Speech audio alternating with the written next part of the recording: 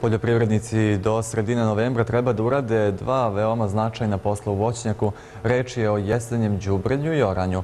Primjena ovakvih agrotehničkih mjera po riječima stručnjaka poboljšava kvalitet plodova i omogućava poboljanje većih prinosa.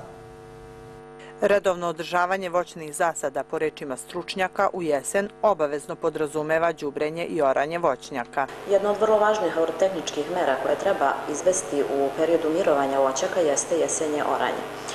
Ono se radi obično na ovaj, dubini do 15 cm da ne bi došlo do oštićenja korenovog sistema. Ovaj, ako se radi o voćnjacima koji se nalaze na nagibu, onda nije potrebno zaoravanje čitave površine, već je potrebno orati samo onu površinu oko voćki. Ako bismo zaorali celu površinu, došlo bi do usled vlage i padavina, do spiranja zemlje, samim tim do ogoljavanja korenovog sistema i došlo bi do njegovog oštećenja.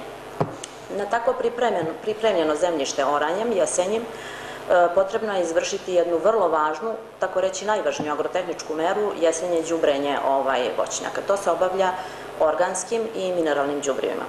Od organskih džubriva najčešće se koristi stajnjak, odnosno mi preporučujemo stajnjak i to obavezno se vodi računa da to bude zgoreli stajnjak ili poluzgoreli stajnjak. Koristi se goveđi, e, ovči, kozi, svinski, može i živinski, ovaj, ali se najbolji pokazao goveđi stajnjak. Ukoliko se džubrenje voćnjaka u jesen vrši mineralnim džubrivima, preporučuju se ona bogata kalijumom i fosforom.